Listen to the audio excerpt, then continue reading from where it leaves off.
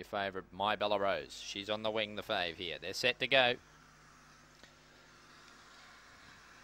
Racing now, My Bella Rose away midfield, speed in the centre from Black Pretense. My Bella Rose burning up to second place. Dark Simon the rail, followed then by Pink Rosalie, Rose Margaret. They're getting tight in the lead, followed then by Lunch at Cronin's. Out the back was Oprah Win Me down the side, and Dark Simon got to the lead. My Bella Rose chases, straightening up. Dark Simon in front. My Bella Rose coming, but Dark Simon hanging on.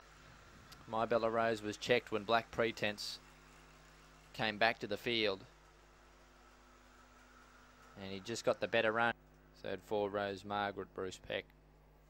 One and a quarter by one and a quarter, 21.01 is the time. 8.64 the first section. It's one, eight, four, and three. One